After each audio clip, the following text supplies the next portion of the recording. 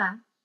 No vídeo de hoje, nós vamos fazer uma comparação, um exercício de comparação simbólica entre o animal de poder libélula, ou seja, o arquétipo da libélula, né? O que significa ter esse arquétipo e como utilizá-lo em conjunto com os óleos essenciais para potencializar as características desse arquétipo, né? As energias que nós queremos potencializar em nós. Aqui no canal já tem um vídeo falando sobre as características arquetípicas da libélula em uh, vários detalhes, né? Então não vou ficar repetindo aqui, vocês podem ver aqui na lista.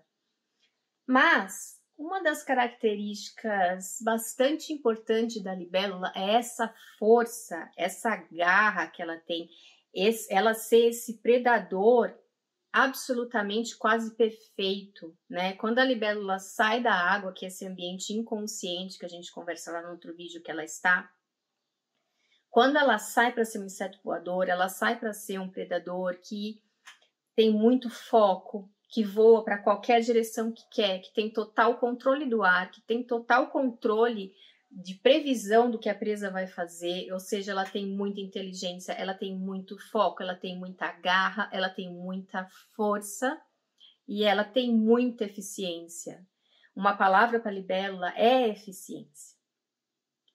Essa palavra eficiência, força, garra, tudo isso eu penso que a gente pode associar muito com o óleo essencial de tomilho, porque o tomilho ele é visto na aromaterapia como aquela planta, né, aquela energia que vai levantar você, que vai te tirar da preguiça, te tirar uh, da procrastinação e vai te colocar para trabalhar. E nada mais eficiente e rápido e, e preciso do que uma libélula.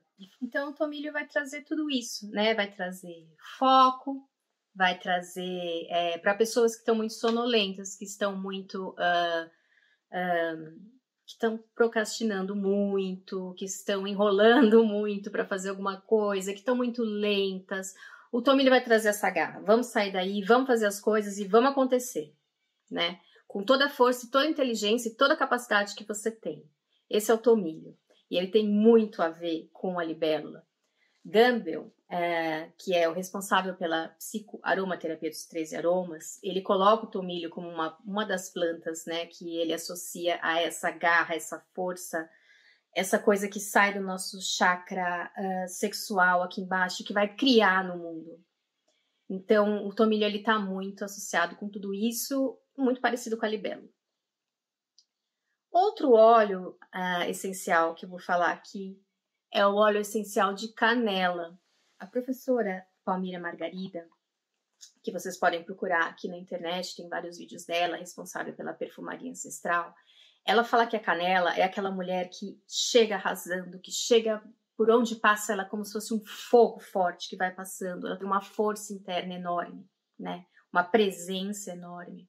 Já a Débora Edson considera que a canela é uma planta que traz lá do fundo do nosso inconsciente, traumas, tudo que está arraigado na nossa memória celular e transcende isso, liberta isso, traz isso para a luz.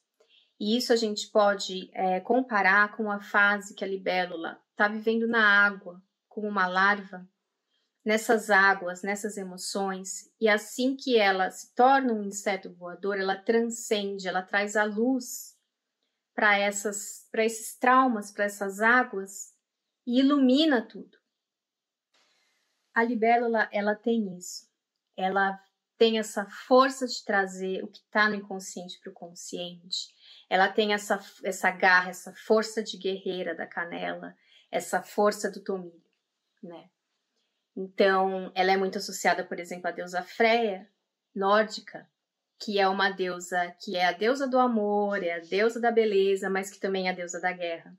Essa é a libélula. Outra, outro arquétipo, né, é o orixá Yansan, que é a deusa do fogo, dos relâmpagos e do ar, né?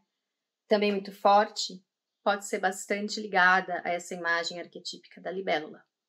Bem, esse foi o vídeo de hoje. Meu nome é Cássia Bar, sou aromaterapeuta e canalizo imagens de animais de poder.